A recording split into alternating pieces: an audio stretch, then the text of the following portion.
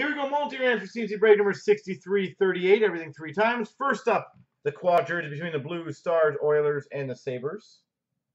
One, two, three. The Stars win that one. Kings and the Sharks. One, two. The Kings win that one. And the Avs and the Oils.